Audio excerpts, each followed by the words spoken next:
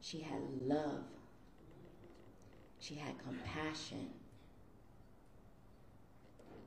She had four beautiful children. She raised them to be respectful,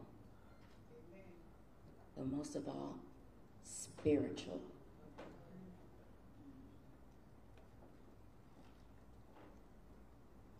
My nine year old, our nine year old, not my nine year old, our nine year old,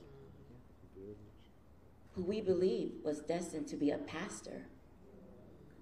That little boy would lay hands on you and pray for you.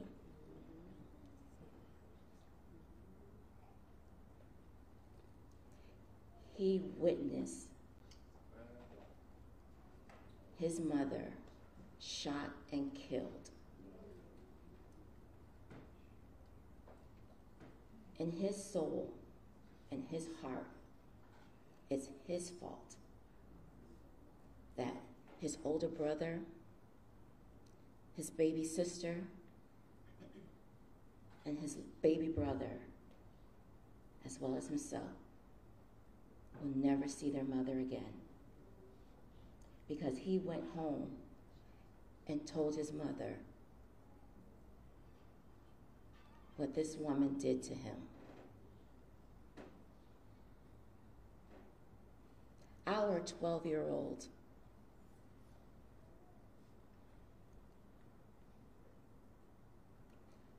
blames himself for the death of his mother because he couldn't save her. He couldn't give her CPR. His words was, Grandma, Grandma, I couldn't save her. I tried to give her CPR, but I couldn't, I tried to give her CPR.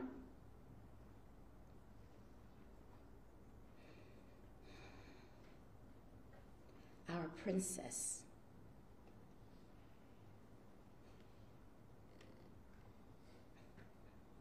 Who was a mini Ajike.